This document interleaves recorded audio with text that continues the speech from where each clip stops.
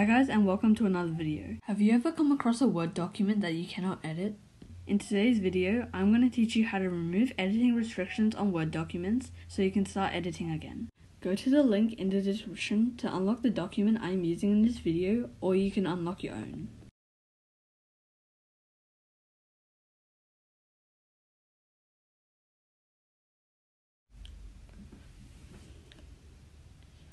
You can't edit this document. It is protected and you can't edit it. Without the correct password, it won't work.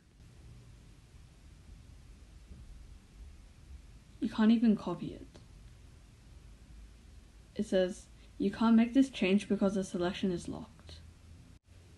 To fix this, click File, Save As, and change the format to RTF, Rich Text Format.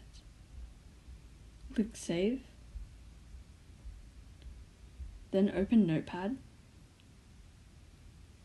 Click on File, Open, and change text documents to all files. And then click on the RTF format document. Control F and type in password.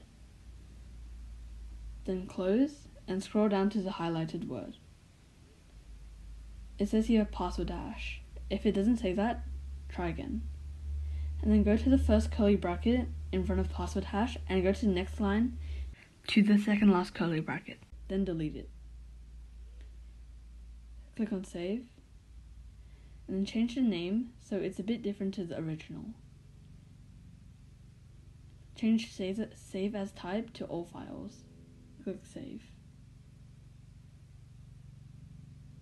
Open File Explorer and open the second RTF file.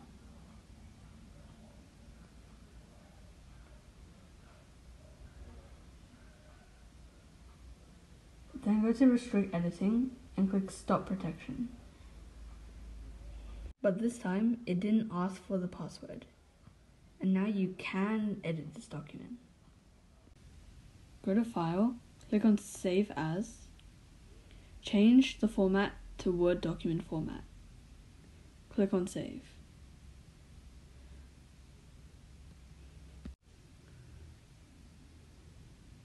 Now the document is fully unprotected and you can start editing. Thanks for watching and I'll see you in the next video.